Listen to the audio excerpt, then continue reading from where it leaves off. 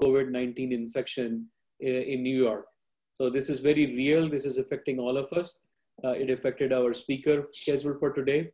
Uh, so we uh, are very grateful to Dr. Kalim Ahmed, uh, who has been a regular attendee here and one of our speakers before, who has kindly agreed to step in and provide a brief overview of updates on COVID-19 infections.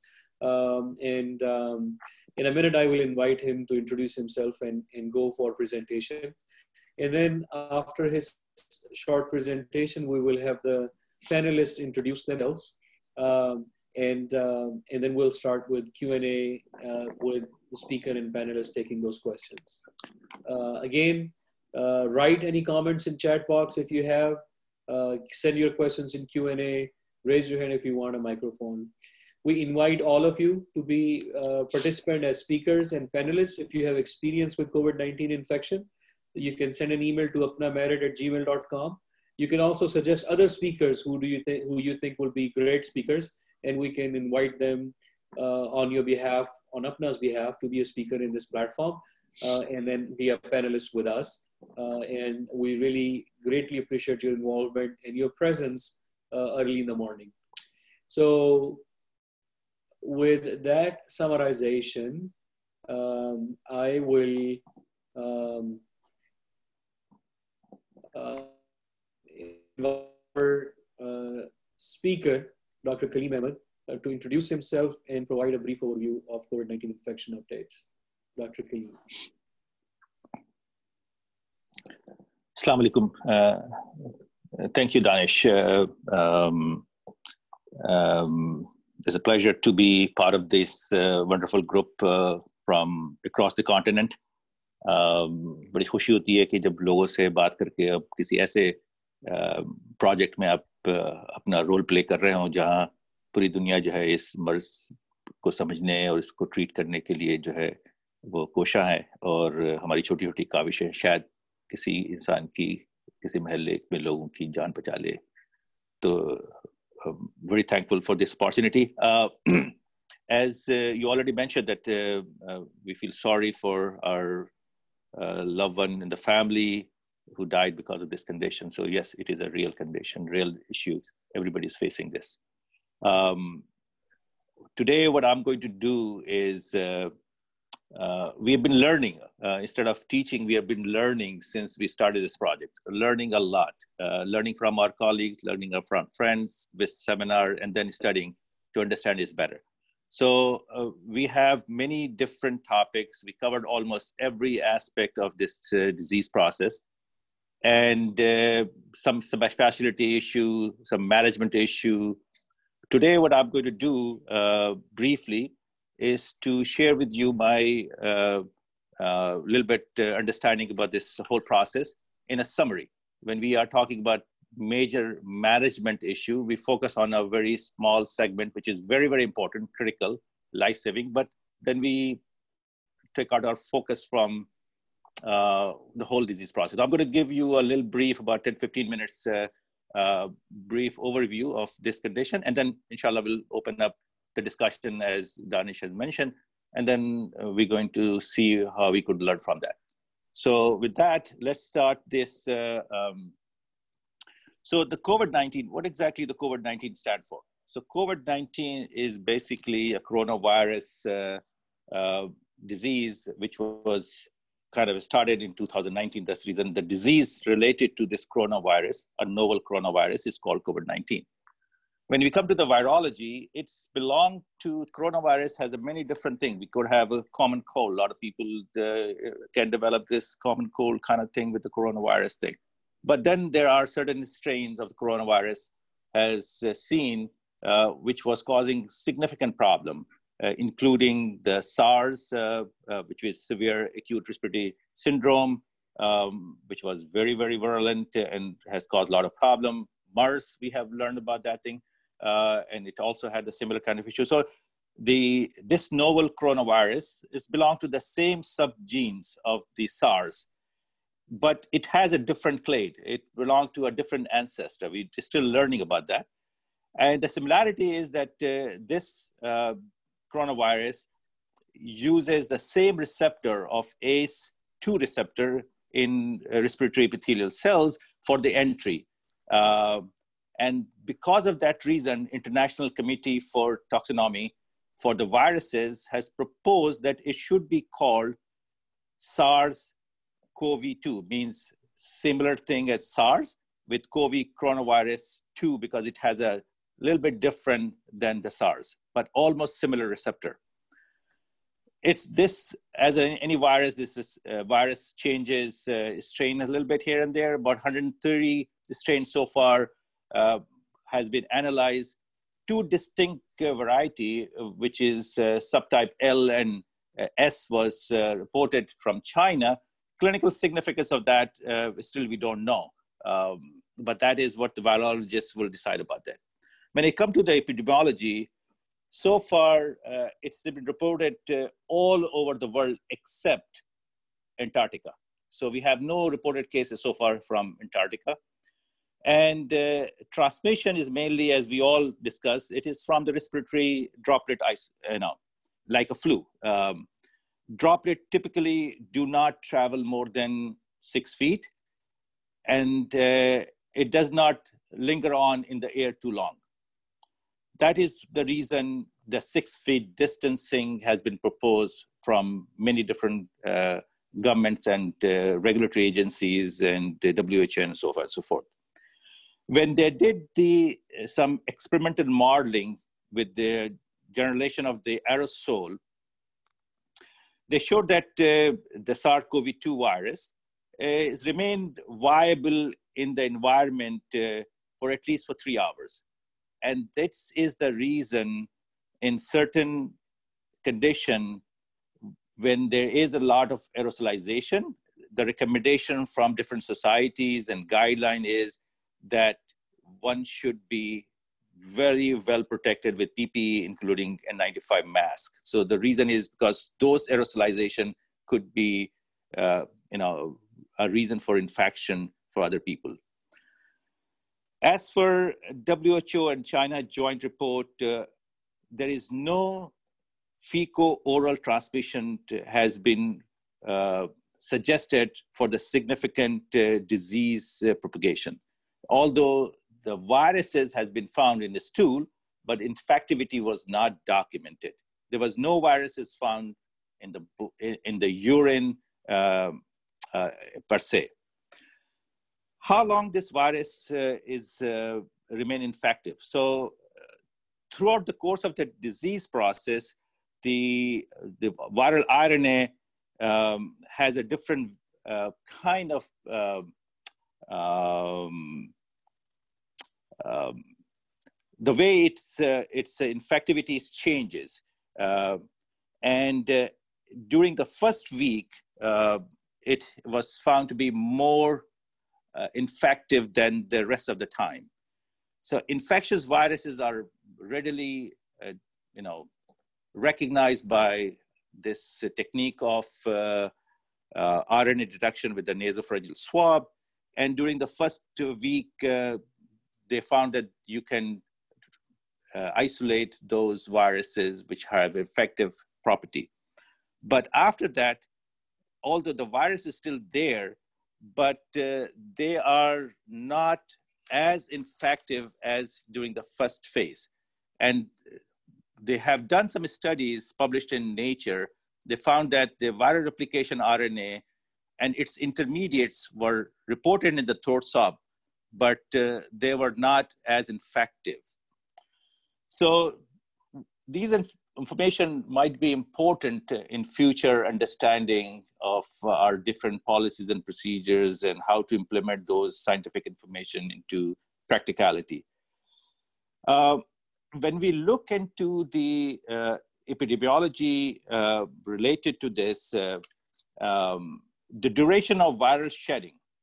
So many different studies you can see which is available. And there is a timeline between 8 to 37 days. A median duration uh, was proposed about 20 days. Uh, that was study published in the Lancet. But uh, in another study, it was shown that more than 90% uh, patients who are previously infected with the COVID-19 after 10 days of the onset of the symptom, they became negative. And uh, in um, one study where they did the quantitative analysis, again, this was published in Nature, that if the, the viral RNA copies are less than 10 to the power 6, uh, then it does not produce uh, any significant infection. Again, this is uh, scientific data uh, clinical implication probably is going to be in future, but not right now Risk of transmission of the disease, as we all know, um, is uh, most commonly uh, when we're talking about in, in any kind of society level, like हम यहाँ बात इसलिए कर रहे हैं कि भाई हम पाकिस्तान में इन चीज़ों को किस तरह से प्रिवेंट करें तो most commonly it has seen and again from the China study the most uh, uh, you know information we have from there is from the household contact so the household contact uh, in the early stages of the disease was about 10% in China. Later on, it was in other part of the world, like in Italy and Spain, and even in the United States, it was dropped down to between one to five percent. What is the risk? A lot of time, people, uh, you know, we all healthcare provider, we uh, have patient, they ask question. So, what is the risk of transmission from indirect contact? What is indirect contact? It means if somebody is walking to the grocery store or uh, walking on a street and somebody's passing who has been diagnosed to have coronavirus, just by passing through this, handling the item, somebody is delivering uh, food to you or a package coming to your house, what are the risks of handling those things? So those risks are has not been documented that much, and it is suggested that it is probably very low. Then another thing which we all wanted to know is uh, uh, how we can develop immunity. So, so far what we know about this is uh, it's take about uh, 14 days uh, to develop uh, the IgG in the system. Close to about three to five days timeline has been seen in some studies to appearance of the IgM and IgA. Um, incubation period as, uh, is about 14 days from the time of the contact. So that's the reason most of the time, initially, we were uh, ask, asking patient who has contact to go for self uh, uh quarantine. The self quarantine and self isolation, these are the two terms used, and sometimes people use it synonymously. I just want to clarify that self quarantine is that if you are suspected that you are in contact with somebody who has COVID 19 and you are not sure, you don't have any symptoms, so you keep yourself away from other people, distance six feet, and not you know trying to go out too much. That's called self quarantine.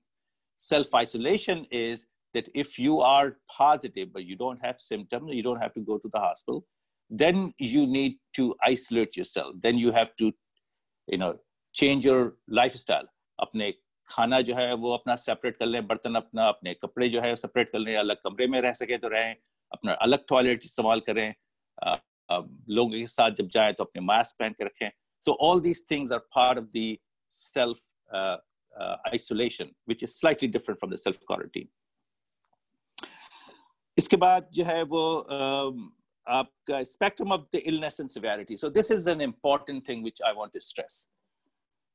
So so far जो भी हमारे पास studies आई हैं अब तक, उनके अंदर मुख्तलिफ़ तरीक़ों से अगर आप उसको स्लाइस एंड डाइस करते हैं तो एक नंबर सामने आता है कि about 81 percent patient who was diagnosed to have this corona virus they have either no symptom of they have mild symptom और mild kind of symptom which is may be लिल निमोनिया और not and then about 14% of the patient has severe symptom, and severe symptom is defined by like somebody is developing significant pneumonia or hypoxia. And pneumonia is involving more than 50% of the uh, structure on the ch- chest radiograph. And only about 5% people are critically ill. Those patients who either develop respiratory failure, shock, or multi organ failure. So, if you take in in journal, this is what we are dealing with. About 5% of those vulnerable population is going to require our expertise in taking care of those patients uh, when they are going to be in very, very sick. But 95% of the patient population either going to not require ICU and ICU care, or they're going to require some other form of care which we could provide uh, with the understanding of this disease process. Case fatality rate of this disease uh, uh, is anywhere between you know 0.7% to 5.8%, depending upon which data, data you're looking.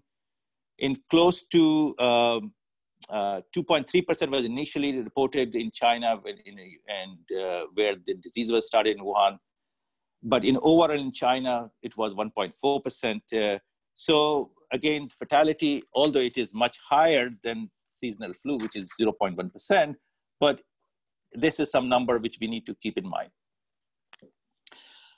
Then we already know that there are many risk factors uh, for the severe illnesses and a comorbidity, which we call diabetes, coronary artery disease, uh, COPD, asthma, cancer, chronic kidney disease, you know, advanced age, uh, uh, and obesity. So, and people who have seen these people who are going through the severe process, about you know two to three comorbidities there, they're they are kind of in it uh, at a higher risk of developing uh, problem. The median age for hospitalized patient, uh, again, hospitalization on the basis of the need for hospitalization. And Pakistan, as we heard yesterday, they are admitting patients who may, may or may not require hospitalization. So, uh, so those patients was between the age of 49 to 56. Uh, people who are developing in a severe critical illness, there are certain lab findings which are jumping out, including lymphopenia, in some cases uh, lymphocytosis, but primarily lymphopenia, increased LDH, liver enzyme, some inflammatory markers like CRP and ferritin, and D dimers. There's also increase in uh, PT, prothrombin time, uh, troponin, some increase in the CPK, and development of the acute uh, renal failure. These are the things which were seen in few studies published in JAMA. In US, what we have seen, about 67% uh, of the cases uh, who are admitted in the hospital was more than 45 years old. So a little bit younger population was more than what we have seen in China and in Italy. But 80% of the death occur uh, in US uh, was uh, in patient population who are more than 65 year old. Asymptomatic uh, patient uh, with infection. So this is another thing which we have to uh, keep in mind. There are patients who are going to be totally asymptomatic. As I said earlier, 81% has a mild symptom or, uh, or no symptom. The best data which we have uh, in a confined environment is uh, Diamond Princess Cruise. You know, everybody heard about that. There's a cruise line where infection was started in Japan, and, and that was a perfect case study. So out of that, about 17% of the patient, uh, people who are on board were tested positive for COVID-19. But only 50% out of that, which is about 619 confirmed positive patient, they were asymptomatic. They had no symptom at all, despite being positive in a confined environment.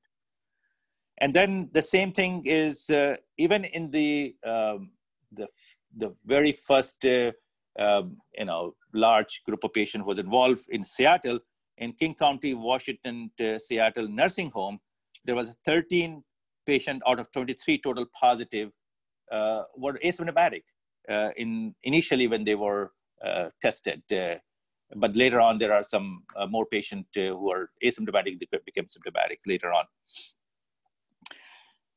Interestingly, when we have seen the CT radiographic data, even patients who are asymptomatic, they could have in up to 50% of the time, they could have some type of radiological abnormality uh, in the CAT scan.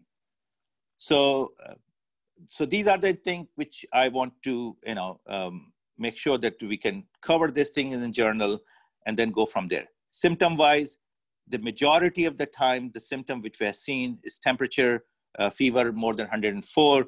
About 99% of the time, this is China data. Fatigue was about 70% of the patient. Dry cough was noted about 59% of the cases. Anorexia in about 40%, same with around myalgia, 35%. And shortness of breath in about 31% of the patient. And there are, you know, we know that the cough is primarily dry cough, but in about 20% of the cases, uh, uh, in one study in the JAMA, um, shows that they could have sputum production. And also, GI symptom like uh, nausea and diarrhea was also seen in about 18% of the patient population.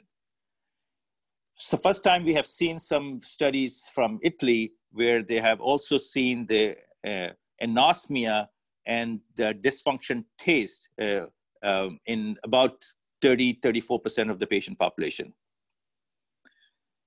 When the disease progressed, the course of complication happened. The dyspnea usually occur um, about fifth day after the start of the initial symptoms. So suppose somebody has contacted this and then start developing some fever and cough, but the shortness of breath could be the later part of the disease process rather than very immediate symptoms.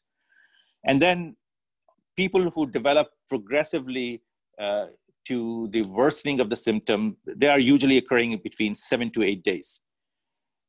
But the problem, which we have seen all over, that once they develop the shortness of breath, and those patients who unfortunately develop uh, worsening of the respiratory failure, it happened very quickly, either development of ARDS or other uh, respiratory abnormality.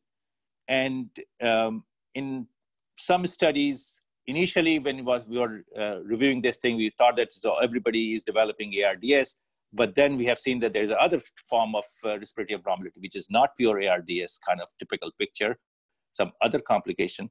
Uh, and then ARDS kind of thing is now ranging between 12 to 40% on hospitalized patient with uh, seen. Other complication, as you might have heard from our uh, cardiology colleague and our nephrology colleagues, that arrhythmias has been seen in about 17% of the time, myocardial injury with the positive troponin MI occurring about 7% of the time, and shock uh, circulatory failure about 9% of the time. Again, these data was, you know, there's so many data from different publication. Um, I'm giving some few of them here. And uh, in about 33% uh, uh, of the people in US uh, in one study who are severely ill in respiratory failure in critical care ICU ventilated, about 33% of them has some cardiomyopathy as well.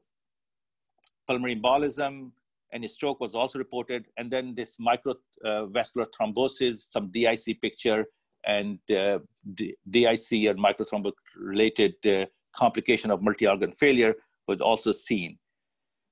So recovery time from the disease in general is about two weeks from, uh, from the start to the finish in patient who has mild symptom.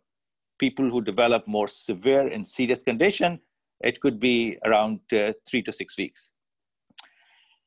And radiographic imaging is all over the place. If you read the American Radiological Society guideline, although there is a classical picture is consolidation, subpleural distribution, ground glass changes, halo sign, uh, crazy paving, all those kind of things are classical, but uh, they suggest that even if some patient, you may not see any kind of respiratory uh, radiographic changes, but don't rule out that take the patient in in in, uh, in, in, journal. Um, and diagnosis again uh, by the RT-PCR, nasopharyngeal swab is the best, uh, but uh, it could be negative in about 30% of the time, depending upon when you're doing it, how you're doing it. Um, if somebody is intubated, BAL should be done expectoration for the sputum should not be done because of, again aerosolization issues But if somebody is coughing up phlegm, then you can use the sputum. Swab could be performed oropharyngally as well. Nasal swab could be done. Um, but uh, the yield of that is variable uh, in different patient population. Um, if you do BAL, the sensitivity is uh, close to 95% uh, in those patients.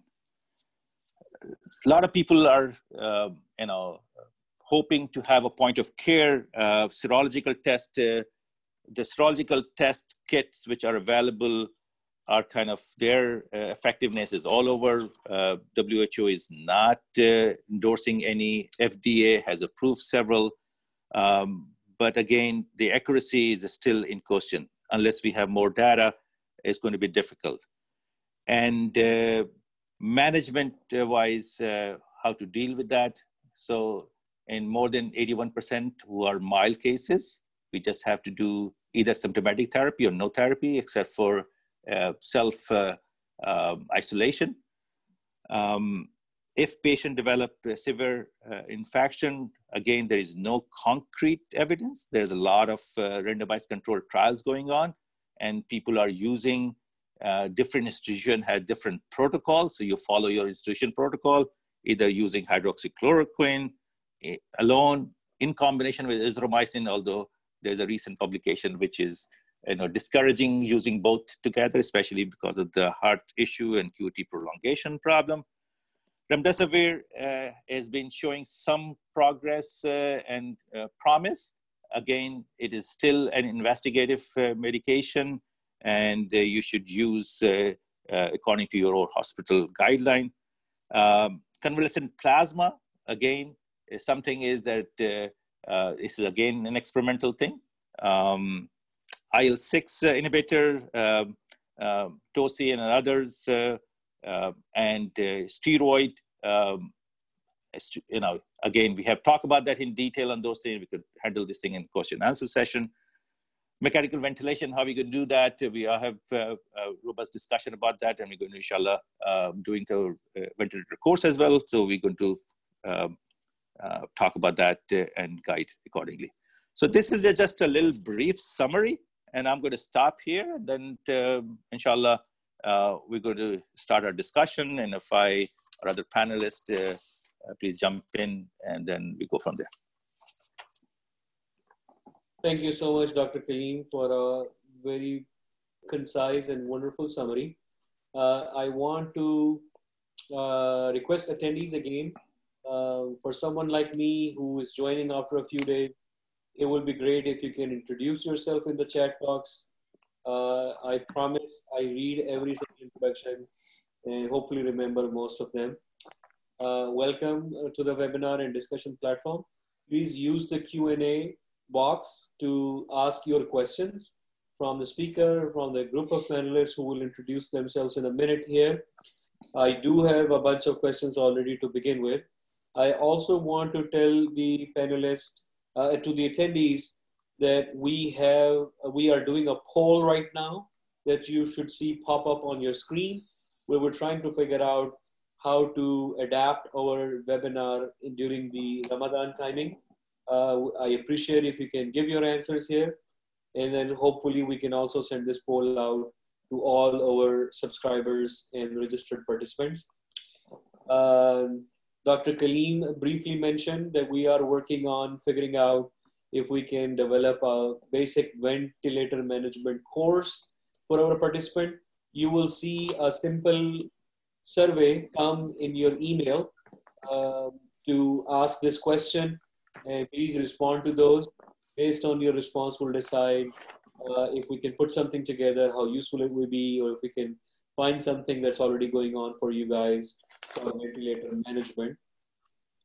Uh, and then uh, before I start with the Q&A today, let me go one by one to our panelists uh, and ask them to introduce themselves. Um, I will call your name. Please uh, unmute yourself and then introduce yourself and briefly, and then I will get to the questions afterwards. So uh, I will go alphabetically. Dr. Farhan Kadir. Aslam ji मेरा नाम फरहान है मैं nephrologist हूँ और उसके अलावा मैं critical care यूसीएमसी में कर रहा हूँ thank you ji doctor Maryam मोटन Assalamualaikum. I'm Mariam Morton. I'm a staff cardiologist at Loma Linda VA in California. Dr. Muhammad Salim. Assalamu alaikum, Janab. I am Dr. Muhammad Salim Khan. I am working as Chief Consultant Physician in Kotli, Azad, Jammu and Kashmir. Thank you. Welcome, Dr. Salim. It's a pleasure having you. Uh, Dr. you. Kabani.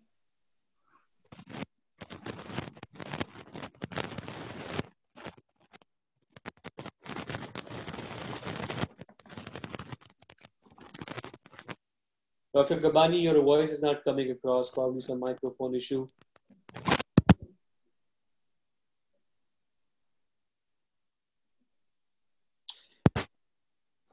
Hear me now? Yes. Okay, sorry about that. Uh, I, I was saying that uh, this is Dr. Kabani from Houston, and I'm a pulmonary critical care physician uh, and work also as a tele-intensivist. Thank you. Professor Shamsa Humayun.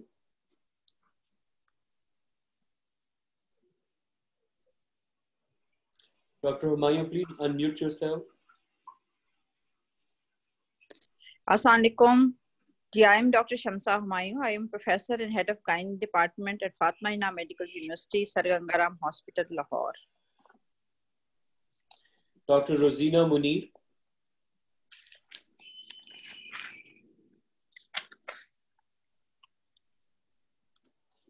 Dr. Munir, please unmute yourself.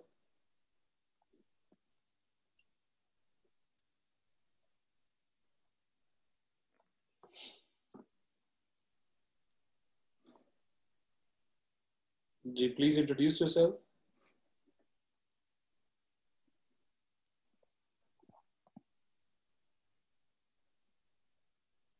Okay, we're having trouble hearing Dr. Rosina Munir. So let me go ahead and start with the questions. And remember, if you uh, have any comment that you want to make and want a microphone, then please uh, raise your hand and I will come to you. Uh, time permits as soon as I can. And please write to us if you want to be included in the panelist or if you want to be a speaker or suggest a speaker to us. So, uh, Dr. Kalim, uh, one of the themes, um, let me come to an easy question because that's something that was discussed recently by our residents too. And the question was how to use tools between patients. Uh, so uh, the question is about using stethoscope between patients in OPD. And for our resident, it was about using a reflex hammer when you're doing inpatient rounds or if you're seeing a COVID infected patient. So, what's your thought? And then I'll come to panelists afterwards. So, uh, what we are doing it, uh, we in our institution, we try to minimize. If we are going to the COVID patient room, we are uh, using disposable stethoscope. So it's a one dollar stethoscope uh, available outside after you uh, put your PPE and before entering you take the stethoscope put in the ears and then you go into the room. After you examine the patient you come out and uh, throw that thing. Now uh, it's not possible in pakistan. So the best way of dealing with is to clean your stethoscope and keep that thing in the ward. The studies which was done in terms of uh, uh, looking at the viability of the uh, uh, SARS-CoV-2 uh, on the surfaces is uh, like hand washing or uh, हम यहाँ पर यास use करते हैं ज़्यादातर जो hand sanitizers हैं जो कि 61 62% to 71% alcohol based after 1 minute of that hand sanitizer the viability of covid 19 is gone so if you use, there is a CDC and WHO has a whole list of uh, different disinfectant which is available uh, in different countries. So हम उनको उसी को लेकर हम अपने stethoscope को साफ कर लें और दूसरे इक्विपमेंट अगर हमें यूज करना है तो हैमर्स और दूसरी चीजें if neurologists are using it, I think they can do the same thing. But एक concept जो बहुत ही clear है, minimize patient interaction. spending time, especially with people who are, uh, we, if you don't want to do any specific procedure, especially in the ICU setting when the patient is on ventilator and then there's chances of aerosolization, try to minimize that. Okay. Panelists have any comments? I agree with Dr. what Dr. Kalim just said. Uh, just minimize contact and be extra careful. Uh, I, st- I heard a statement from somebody: keep your stethoscope in your pocket if you can. You know, but uh, when you, but, but I don't know if you can always do that. You know, uh, I just want to add a caveat. Right, right. A lot of time, you know, we are pulmonary critical care doctors, mm-hmm. and outpatient. I have outpatient practice as well. So there, we are doing telemedicine and not examining the patient. And one of my colleague was saying, you know, it's a kind of uh, I am able to get to the bottom of most of the patient. Uh, some people I feel that I should examine, but most of them I can and I can help them out without even listening. So, you know, we should learn from these things. Although I'm not minimizing examination, I'm just telling you what we are experiencing. Very good. Uh, so next question, a couple of different people have asked, and I'm just lumping them together, is about uh, early signs and symptoms of COVID-19 infection. You know, we know about upper respiratory tract illness and fever, uh, some discussion about anosmia, um, there is question about lymphopenia. Are there such uh, signs that we can look at to uh, to worry about COVID-19 infection beside upper respiratory tract infection, Dr. Kalim? Again um, uh, मेरा ख्याल ये कि वो जो चीज़ें हैं there are some upper speed track symptoms जिसमें uh, आपके खांसी है ड्राई कॉफ है स्क्रैचिंग ऑफ़ थ्रोट है सिस्टमिक मैनिफेस्ट है जिसके अंदर के आपको फीवर है। These are the two things are more common along with systemic manifestation of myalgia and but uh, the other non-typical presentation uh, including nausea और जिस तरह आपने कहा कि एनास्मिया और टेस्ट का जो इशू है कि कुछ लोगों के अंदर जो है तकरीबन 34 परसेंट लोगों के अंदर जो है नास्मिया टेस्ट जो है वो इटली में देखा गया है साथ ही साथ जो है वो डायरिया के साथ जो है about 18% of the population just present with diarrhea. In fact, in one of uh, a patient in our institution uh, was the sole symptoms of fever, along with very excessive diarrhea. And he was uh, on the floor and fifth day crashes, develop into severe respiratory failure, you know, shock, uh, intubated, pressors, all kinds of things know, within four or five hours from starting having shortness of breath and going to that direction. So the, there are multiple, you know, um, kind of uh, um, symptom or uh, systemic symptoms are there, but these are the most common which we have seen. Um, lymphopenia is there, but again, those are the patients who are hospitalized and has symptom. I'm not sure about somebody who is asymptomatic uh, or has a very mild symptom, uh, we should be looking for these uh, markers. The one study which was seen as the prognostic uh, indicator, uh, again, uh, published in JAMA coming from China, is sequential you know, changes in the lab values of your lactic dehydrogenase, D-dimers, and uh, uh, other marker, including CRP, ferritin level. Uh, and then if it's constantly going up, then that is directly related to the poor outcome. Farhan, you had a comment? जी मेरे मेरे भी यही था लेकिन uh, these days actually patients are presenting with different complications. I have a couple of patients actually presenting with altered mental status. And Danish, you're a neurologist, so you probably can tell me better. But I have seen them having strokes. I have seen them having encephalopathy. I've seen them having the, a couple of my patients actually has word occlusions. Um, Though presenting with altered status, I have recently one patient with COVID positive. The initial presentation was completely seizures. Uh, so yes, the most common जो कलीम भाई ने but you cannot rule out completely neurological symptoms as a part of um, presentation as well though it's weird yeah, it's, it's, it's a. It's, uh, thank you, Farhan. Uh, I think this is uh, we all learning that. I uh, my uh, nephew who works in uh, uh, ER, he encountered three days ago a patient who presented like a DKA. Uh, coming here a little short of breath, uh, pH was 7.07 range, glucose up, uh, um, decreased urine output, uh, and suddenly collapse. So, you know, many, and then intravascular microthrombus related kidney failure, um, there's a stroke kind of thing. it has been reported, absolutely. Uh, any other panelists any, has any comment? And you can also raise your hand and that will make me uh, easy for you to call you out specifically for your comment. But anyone wants to add to early signs and symptoms of COVID-19? No, I just wanted to say that the uh, anosmia is also supposedly due to the neurotropic uh, mechanism of the virus. So uh, definitely a issue with neurological manifestations that we have also seen. Are you able to hear me now? I'm, yes, I'm just making sure. Thank you. Thank you. Uh, you know, I saw a, a publication today uh, about um, redness and pain in distal uh, foot toes as an early presentation of uh, COVID-19 infection by a dermatology group. So I think there's so many varied presentations. Um, I will move on to another theme of multiple questions uh, and group them together, uh, which is related to testing. So questions are, for example, um, how many days it take for the COVID test to become positive?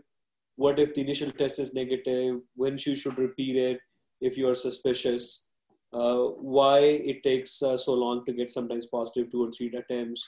How good is COVID virus testing, and what many, you know, what different types of testing are available? and which one to rely on. So, Dr. Kalim, let's start with you.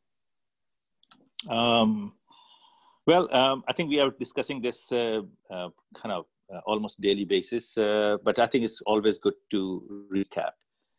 The, the best test which we have is the PCR, uh, RT-PCR uh, test, and the, um, the timeline is most of the time uh, the test RT-PCR is positive um, within first five or first one first week of initial contact. And during the first week, the virus load in the upper airway is much higher compared to the second and third week. Um, so if the nasopharyngeal uh, swab, uh, RT-PCR, is not available, because sometimes swab, you know, the, the nasal swab stick is a short supply in some, some places. So they have uh, oral, uh, oropharyngeal swab that could be done. The problem is that it's initiate gag reflex and it is problematic for patient. Sometimes you have to manipulate is at uh, one of our panelists uh, was uh, discussing the other day that about 10 second you have to rub that area. Uh, I've not seen that myself uh, in, in data, but I rely on the information. Um, then there are testing which you could do from the nasal uh, cavity passage. Uh, again, if you don't have a big, uh, uh, you can use the Q-tip, and in in uh, in between the turbinates, you can take the swab from there. And also, um, there are nasal swab which is from the nares from both sides. You can take it if somebody is coughing up uh, phlegm, uh, you can you should try to take it from the sputum, but don't induce it. Um, if somebody is intubated, then using the BAL is the best uh, uh, sensitivity so far, about 95%. rest of that test is about 60, anywhere between 45 to 71% type of range. Uh, nasopharyngeal is among the best. How about serology for antibody? So serology, they have done uh, serology uh, in some studies. They have combined the RT-PCR and serology, and have they seen the uh, the sensitivity goes up to 80% plus. The IgA and IgG, uh, IgA and IgM uh, usually start coming into the um, the body uh, in about five days or so, and IgGs take about 14 days uh, to come into the system after the exposure of the uh, disease process. So again, uh, it's good tool to um, have it on hand if it is accurate. so far, we are not giving green light from uh, World Health Organization in terms of their accuracy. Yesterday, I was reading an article about the serological testing, which is England has ordered um, millions of dollars of that, and they are not utilizing because the accuracy is in question. Farhan, you have a comment?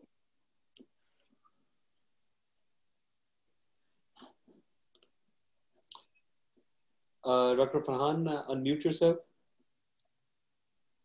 Sorry. Assalamu alaikum. Sorry. Uh, Dr. Kalim ne just baat ki hai. I believe personally that the one of the reason that our test sensitivity is a little low, it depends on the collection. It depends on the phase when you're actually collecting it, whether you're doing it in viral replication phase, because sometimes when the patient comes in our ICU, they kind of pass this viral replication phase and they're actually in cytokine, cytokine storm. Uh, sorry? Yeah, no, sorry. I, I totally agree. Yeah. And the third thing is, which is very important, in most of the places, they're talking about two tests. So that before they even take out the droplet, so that actually adding on two tests can take your sensitivity close to 80%. The third thing when I was reading the comments, they were talking about that there is a patient who actually had four tests and the fifth come back positive. I have not seen it personally, but I can tell you that if your fifth test is positive, my high suspicion is not that the patient came po- positive as a as a uh, as a COVID, but actually end up getting COVID in the hospital, which we have seen with our other infections like the rhinovirus and all that stuff. And I have personally had patients with negative rhinovirus, two RVP, and then end up coming back positive rhinovirus while in the hospital for 14 days. So I believe that's the answer to the one of the questions which I read.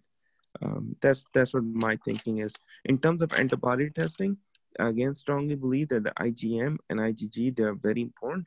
Um, adding them on in future would be a good idea to look for the herd immunity, and I think this is going to help us to open up the country at the same time. Yes, thank you. Thank you, Dr. Salim. You have a comment? Yeah, do viral antigens have any role in the diagnosis? As far as I know, we haven't seen antigen testing. We have PCR, which probably is for the yeah. RNA, and then we have the serology for antibodies, but not a direct antigen titer or antigen detection in some shape or form. Yeah, I, I also have another question. Uh, how often you encounter hyperglycemia in uh, normoglycemic COVID patient? Because theoretically speaking, that there is increased surge of counter-regulatory hormones and cytokines like interleukin-1 and TNF, which increase gluconeogenesis, and there is decreased insulin release from the pancreas, and also there is increased insulin resistance. So how often you encounter hyperglycemia in these normoglycemic COVID patients? You, Dr. Um, I will um, you know, pass this to other panelists. Uh, I have not seen that many number of patients uh, um, in our critical care. Uh, so um, I will rely on other people who has might have larger exposure uh, we, we, I haven't seen that many either. We see, of course, hyperglycemia in patients that are already diabetics, and the diabetes normally under control can get out of control due to the infection. But I, I don't recall, but we can certainly do a, a literature search and look for it. I'm sure, like we are seeing everything with COVID, we might even have been seeing this, you know. So I will reserve my answer for that uh, until I have a chance to look at it. Farhan, you have a comment? Yes. Um, so if you look at the data based on uh, the first paper came out from China, there was some talk about that the patient has hyperglycemia, but it's not different from any group of patients based on that one paper. There's not different from any group of patients uh, which actually like previous group of patient with ARDS, with sickness, with septics, uh, septic shock, where you can have some hyperglycemia, even a normal glycemic patient with the mechanism you described. And uh, though does that hyperglycemia does has impact on mortality or ICU mortality as we read in our other patients, I have no idea about that.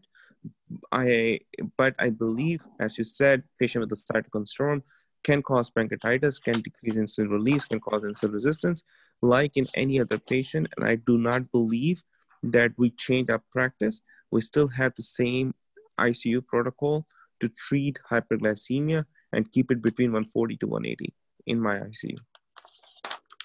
Thank you. So sticking with the same theme of uh, early presentation and diagnosis, a couple of questions are uh, related to the fever. Um, so if someone is having fever, what patterns are we expecting? So there's a question specifically about uh, on and off fever, fever coming and going, and not a persistent fever. Uh, and then uh, a, how to differentiate it from fevers from other causes. Dr. Kalim? Well, it's going to be uh, different causes going to be difficult. Definitely, we know that there are uh, in different depending upon where environment you are in. Um, there are other uh, superimposed infection could happen, co-viral infection could happen. Um, majority of the patient in COVID, according to the literature, they have temperature more than 38 degrees Celsius or 100.4 degree Fahrenheit. Uh, but uh, in addition to that, there are some cases where they are positive patient with other symptoms, but their temperature is not uh, hovering at that level. In fact, there are some patient who has uh, less than that and uh, 99, 98.6 plus. So, but those are not the highest number of the patient population. Um, if somebody has any focal sign uh, of uh, any other infection uh, apart from respiratory tract, then I think we need to focus on that as well. Uh, because concomitant infection, people could have urinary tract infection, people could have any cellulitis and other kind of stuff. So, you know, a good clinical examination of those patients who are uh, having something else need to be treated as usual medical practice. So related question before I go to panelists with this, uh, what is the role do you see of those thermoscans or, or thermal scans or temperature screenings? I think it's a good tool for uh, people to uh, show a couple of things. Number one, seriousness of this disease process. If somebody is symptomatic, as we know, the first thing, uh, more than any other symptom, the fever is the most uh, commonly presented symptoms. Uh, so if somebody is symptomatic uh, and had temperature, that could initiate the process, especially for um, healthcare worker. Um, if they have some temperature, they should be uh, self-quarantine to see whether some other symptoms are appearing or not. Uh, in uh, population health management, when the disease was spreading, Uh, on the airport and the entry side of different uh, borders. Uh, this thing was implemented, and I think it has a value uh, in terms of controlling the spread of the disease in the society uh, and self-monitoring if you are exposed. Any comments from the panelists on fever, fever patterns, thermal scans? Mm-hmm. Because you see that most of the patients they are usually asymptomatic initially and the thermoscans were uh, they were used at entry points for screening. There was no testing done. So i don't think that it has uh, a very good role in the screening because you see when the patients they entered they were just thermoscanned and those who don't have the temperature they were sent and it led to the spread of the disease Yes, uh, but the problem is that uh, um, if you uh, want to uh, control any spread of the disease, you have to have some kind of cutoff thing, some kind of parameter you could not, uh, if somebody is asymptomatic coming from an area where is a disease process, you could not ban them altogether on the airport. You could not quarantine them. You don't have resources. You don't have test kits, even if you yeah. don't have test yeah. kits in the hospital. So there is a balance one has to take. And uh, yeah. we learn from our mistake, definitely. And we may come up with something in future which may be more sophisticated. Uh, but this is what we have right now. Farhan, you have a True, actually. Gee, um, so I think I totally agree with Kalim by, um, but I think one more thing which I want to add on, that's one of the reasons where universal masking, your uh, social isolation, your six feet distance comes in. Uh, yes, those are just the parameters. Okay, we're going to use a thermostat. If you have fever, please stay home because that's 80% of the patients going to present with this most common symptoms. As in medicine, we always say common things are common. So I agree with you. There are pre-symptomatic patients, but that's one of the reasons we're making sure that everyone should wear masks. Everyone should have social isolation. Um, those are the preventive measures. On Great. top of that, thermostat use. Let me take uh, some of the attendees into discussion. I see a raised hand. Please go ahead, introduce yourself, and make your comments or question. Hello, I am Dr. Hafiz uh, from Karachi. I'm child specialist. I was uh, um, worried worried about ke how can we decrease the spread when you say ke the uh, uh, virus is shed in urine uh, it, it, was denied by dr kalim but uh, in urine and in stool if uh, patients who are asymptomatic but they are positive if uh, they do not care properly of their urine and stool for example in islam we clean with water and uh, that uh, clears our uh, uh, anus area very clean. Those who do not uh, use water, they use only uh, uh, paper. Stool may remain there and there may be more infection may be over there. Number two, urine, they do not care about the urine. We, we Muslim use water. So I, even the last drop of urine which comes, we try to uh, even uh, clear that out na? by uh, by squeezing the uh, panties from the root and even that drop we also take care. So if there was virus in the urine, so if the, those patients will not care of their own stool, their own urine, they will uh, spread uh, virus in the community. Number three, uh, number two, sore throat. When there is in a, virus in upper respiratory tract infection, we as we do in the wazoo, we do gargles, we do cleaning our nose five times a day. So I think wazoo five times a day and or the Islamic way of taharat, will uh, have a lot uh, in preventing the spread of the disease. Or if uh, gargles with, uh, with saline, gargles with, with saline water. Let me also add a couple of other related questions about the spread as being asked here. One question is that does the virus spread with normal breathing even if the patient is not coughing or sneezing, even if the carrier is not coughing or sneezing? And then how long is this virus surviving on different surfaces? So let's start with you.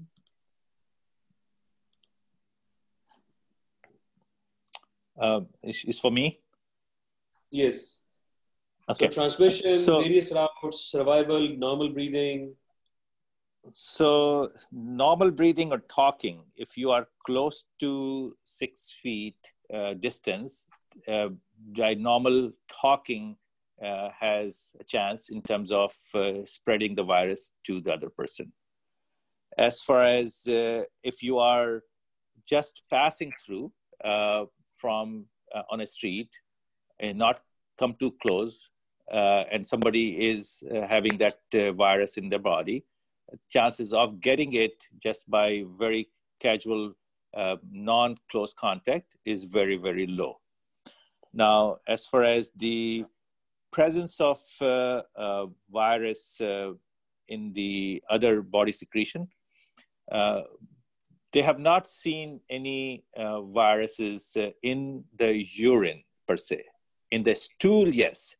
Uh, but the World Health Organization and China joint statement about the fecal-oral transmission, they said they don't think on the basis of the data that this has played any significant role in terms of spreading the disease process. So this what we know. Now, when it comes to certain practices uh, of different cultures, um, definitely uh, we do the most uh, important uh, procedures uh, and taharat related thing in our society, and which is a good thing.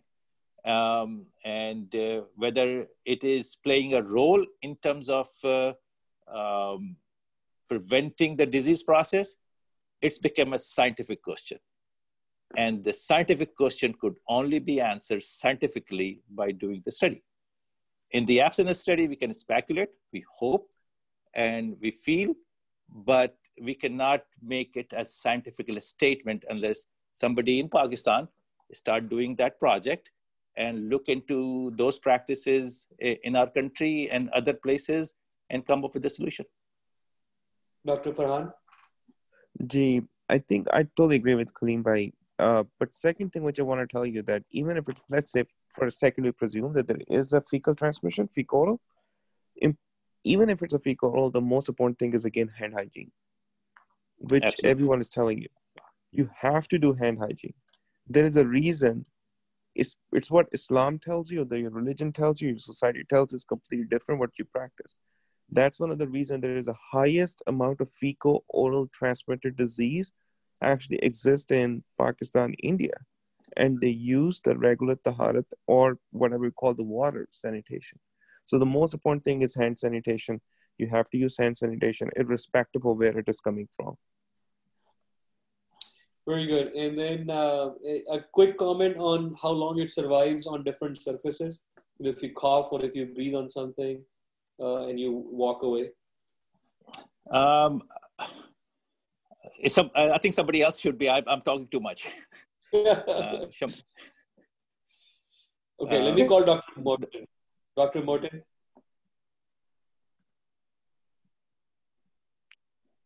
The viruses, uh, can you hear me? Yes. The viruses uh, tend to survive on uh, different kind of surfaces for different uh, time duration. I don't really know the exact number, but it varies between two hours to 12 hours, depending on the uh, porosity of the surface. In plastic, it's supposed to be less. In, um, I think in uh, cardboard, it was a little bit longer but I don't remember the exact time, but it was between two hours to 12 hours. It's posted online at number of places. Uh, I, I think plastic is longer and cardboard is less. If, uh, am I correct, um, Dr. Kalim? So uh, rubber. So the, the, the study Sorry. which was published in New England Journal of Medicine, that uh, was looking at the um, presence of the viruses. Uh, uh, mm-hmm. And that was, they have shown that mostly uh, but three days or more up to on the surface of the, stu- uh, of the steel and plastic. Cardboard right. was kind of relatively low, and fabric no. was almost similar to that thing. Uh, there was a study done in uh, um, in isolate in a negative pressure room in patients with the severe COVID infection, and they tested all different uh, areas like switches, knobs, uh, in negative pressure room. Uh, and they have found the viruses there. Again, I think the important thing is another thing uh, which I want to add that even after three weeks in Diamond Princess ship, um, they found the viral uh, element uh, um, on the surface, on some surfaces there. Now, that's the reason when I present my overview, I try to stress that the presence of the viral RNA does not mean that the virus is still infective. And that is something which we will learn hopefully with time. What are the other scientific things which will help us to make a better understanding about this? Oh, somebody has uh, put this uh, very nice thing here. Here you go um, on the yeah. uh, share the screen. Yeah. I think yeah, Dr. So, Morton just did that. Yeah. Oh, okay, good. Very good. So, so uh, a question from audience from Dr. Noman Tariq about uh, again asking some clarification on uh, neutrophil to lymphocyte ratio in COVID infection versus other infections with fever. So, uh, answer to this question: There is a recent meta-analysis published on neutrophil to lymphocyte ratio, including six studies and they also compare neutrophil to CRP ratio uh, in that meta-analysis. And the only thing which it tells us, they never compared the neutrophil lymphocyte ratio between COVID versus non-COVID. They just tell us about neutrophil to lymphocyte ratio, lymphocyte ratio, and that actually a bad prognostic indicator, as I believe everyone knows that. But does it tell us that are those patients gonna go into shock? Probably yes, because it actually signifies your your um, cytokine storm. Uh, but I don't remember that, or I read anywhere that it actually been compared between COVID versus non-COVID. Very good. So I think we are uh, a little bit over time now, so I'm going to start wrapping it up. And I have an interesting question uh, asked by the audience uh, to try to uh, start wrapping it up. I will probably call uh, opinion from each panelist uh, and starting from the panelists who have not had a much chance to speak. Um, so the question is about uh, how long do we think this uh, lockdown or social distancing will continue in order to fight or, or delay the spread of this COVID-19 infection. So I'm going to start with uh, uh, Professor Shamsa Humayun and see what her feelings are or experiences are working in Pakistan. Uh, about uh, the social distancing and how long it might continue? Professor Humayun, please unmute yourself.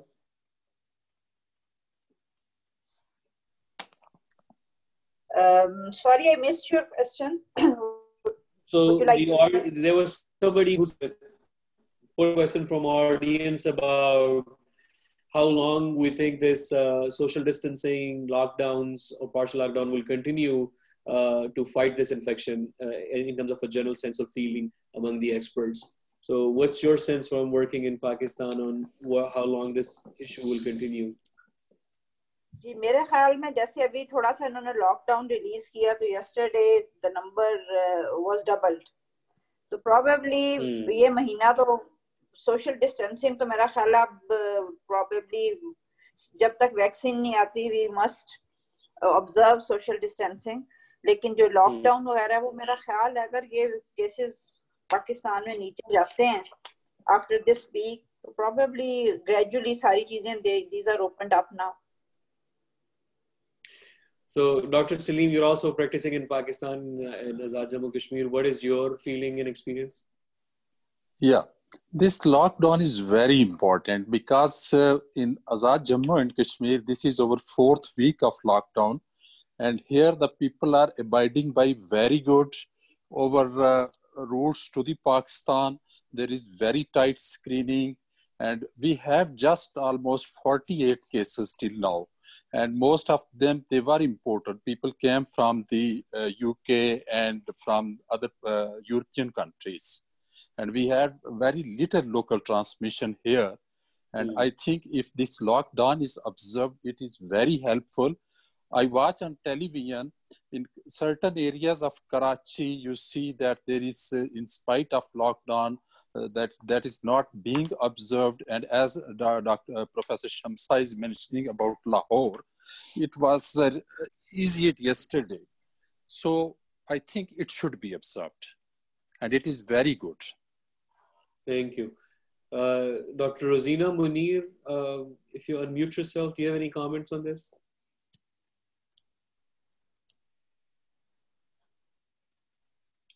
I think we're having trouble listening to you. You may have a different audio device selected for instead of your microphone in the settings. No, still not coming through. Dr. Kabani? Um, well, I think the duration of the lockdown is probably going to be dependent on where, what location you're in. You know, right uh, today in Houston, in, in Texas, they they've been announcing that they're going to keep the schools closed, but they're going to start opening up the state parks at the businesses. But then in Harris County, where we live and is the medical center, very densely populated, the judge came out and said she is not going to let, lift the lockdown that quickly. So I think it's very location dependent, depending on the density and the number of cases. And the most important part is the testing and possibly testing with antibodies before we really start going. Uh, you know, economically, yes, absolutely, we need to get back to work, but uh, will we stay uh, at work if, if we do it very quickly? Dr. Kalim, any comment? Well, I think I totally agree with you. Uh, it's, uh, this disease is not just uh, a medical and viral disease. This disease has so many different angles and uh, impact on society. So every uh, locality, every uh, country and city state in Suba, they have to decide on the basis of what kind of number they have, what kind of education they have. As Farhan has mentioned earlier, the important thing is that if the if we have to take care of this disease, we have to practice the basic infection prevention protocols. What does it mean? Hand hygiene. And now everybody is advocating wearing the face mask. So, looking at the studies, the highest transmission of the disease happened among the household contact. तो अगर आपने lockdown करके अपनी सारी businesses को बंद कर दिया आपके गरीब जो है वो भूखे मर रहे हैं लेकिन आप जो है वो सोशल डिस्टेंसिंग जो है अपने घर में नहीं कर रहे हैं आप मास्क नहीं पहन रहे हैं आप ग्रोसरी स्टोर में जाकर दूसरों को लगा रहे हैं तो one society has to think through all these thing the second highest thing which we have observe is in the health care provider who are not using PPE और वर्क प्लेस गैदरिंग में and social contact में these things has seen तो I think हमें खुद learn करना पड़ेगा कि what kind of balance we have to take so that we can continue to survive as a humanity and also try to prevent ourselves from the disease. Any comments from Dr. Morton or Dr. Kadeem? Assalamualaikum. In our institution, uh, we are hearing uh, mixed messages like every place else. Social distancing and uh, lockdown is still in full force. Um, they're expecting the virus to level off for at least a couple of weeks before they will let go of the local of the local lockdown in here. Farhan? Uh, नहीं मैं कलीम भाई से बिल्कुल agree करता हूँ मेरा background जो है वो बिजनेस से है so I know how much does it hurt the business my family back home और एट द सेम टाइम लोग अब जो है प्रोटेस्ट करके बाहर जा रहे हैं But they're not following the social distancing as they should. Or uh, I still believe that it's a very fine balance. It's a very difficult situation, and I just pray that we get over it sooner than later. And um, hopeful that I think the most important thing is that everyone has to take the responsibility individually, and uh, and then we can tackle this. Thank you so much, Farhan. And I think we are 15, 16 minutes over our time, like most days. I want to thank Dr. Kalim for stepping in and answering questions uh, so well and panelists. And thank you, attendees, for joining us and staying throughout. Please uh, join us as panelists and speaker, write to us, suggest speakers to us, and we will see you tomorrow. Thank you so much. Thank you, everyone. Okay. Assalamu alaikum. Thank you. Thank you. Assalamu alaikum.